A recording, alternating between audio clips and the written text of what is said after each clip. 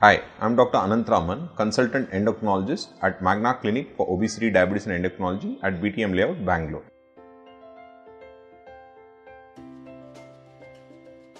The Widal test is an outdated test, so it is does not have any diagnostic value uh, in the Indian scenario. Whereas uh, most Indians have been uh, exposed to either vaccination for typhoid or who have already had a typhoid fever in their childhood. So in such cases, uh, typhoid uh, Widal test is not of much use actually.